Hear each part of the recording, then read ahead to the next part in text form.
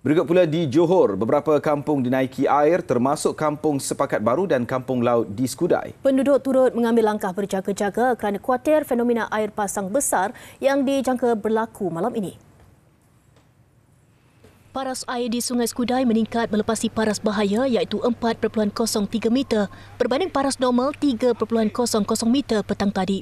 Mana yang biasa dengan air pasang, dia kan tahu buku air pasang, apabila sini dah tinggi, biasa dia orang rumah ni kebanyakan dia akan nampak sungai. Dia orang monitor. Bila dia menaik saja dia orang akan keluar saja. Dia, dia otomatik dia orang keluar masing-masing. Bila hujan kuat, hujan daripada kawasan Kulai, lebat, kemudian kebetulan masa tu air pasang besar, jadi air lambat untuk turun, air sungai penuh, maknanya sini ada kemungkinan berlaku banjir. Tapi rumah saya ni kalau rumah uh, bawah sana naik, semua dah naik sana belakang uh, depan sana dah naik baru saya naik. Kalau tidak tak naik air. Hmm. Ha, rumah saya ni tinggi jugalah. Secara keseluruhan, situasi banjir di Johor kian buruk apabila jumlah mangsa dipindahkan sehingga lewat petang tadi meningkat kepada 1,253 orang. Mereka terdiri daripada 416 keluarga kini ditempatkan di 39 PPS.